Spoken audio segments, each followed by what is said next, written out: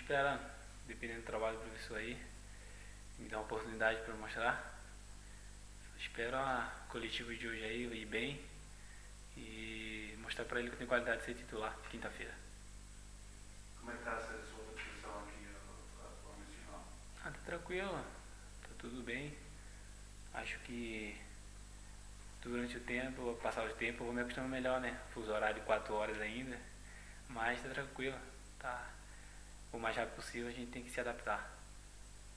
Quais são as principais diferenças que está a sentir? Apesar de ter jogado ainda, ter- Eu acho que a pegada aqui é mais forte, né? O jogo é mais rápido, entendeu? Lá no Brasil é mais.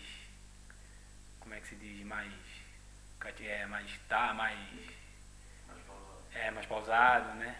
Então, mas aqui é mais rápido a pegada e se adaptar o mais rápido possível.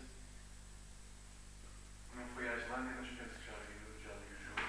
Eh, O que, que achas desta equipa de tal alcance nacional? Vive o jogo sim. É uma equipe que já vem jogando, né? Então, pra gente, como o primeiro jogo da época da gente. Então, a equipe é, tem os seus pontos fortes, tem os seus pontos fracos.